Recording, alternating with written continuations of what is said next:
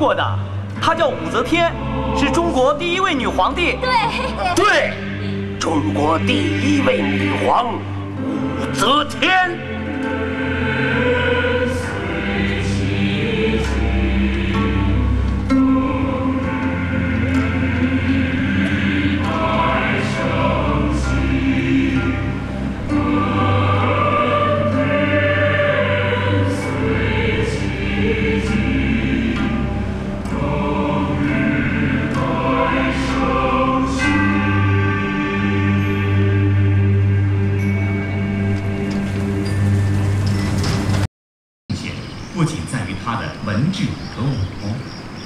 为一个入主中原的少数民族，他懂得尊重和学习汉民族文化。康熙重开科举，启用汉官，编撰《康熙词典》，开拓疆土，建立统一的多民族国家，造就了康乾盛世。康熙皇帝三次上泰山朝拜，并著有《泰山龙脉论》，称泰山与长白山一脉相连，将满汉民族的根连在一起。